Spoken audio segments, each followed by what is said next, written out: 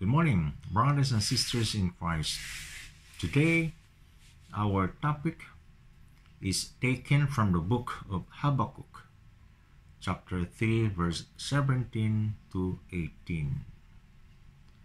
Though the fig tree may not blossom, though the flock may be cut off from the fold, nor fruit be on the vines, and there be no herd in the stalls, though the labor of the olive may fail, yet I will rejoice in the Lord, and the fields yield no food. I will joy in the God of my salvation. My brothers and sisters, at times it seems that everything around you is collapsing.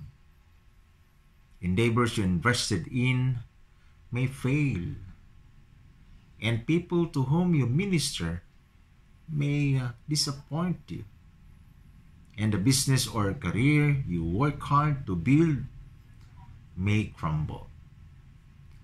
These times, as difficult as they are, are opportunities to stop and examine what is truly important to you.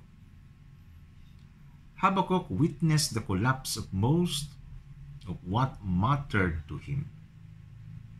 Yet, through the loss, failure, and disappointment, he was able to distinguish between what was precious to him and what was transitory and uh, empty.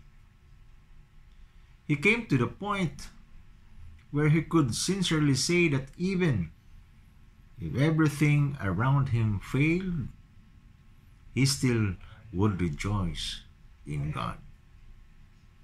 If the fig tree bore no fruit, if the vine produced no grapes, if the flocks and herds stopped reproducing, he would still praise God. His praise must, might not come easily as he watched everything fall short of his uh, expectations.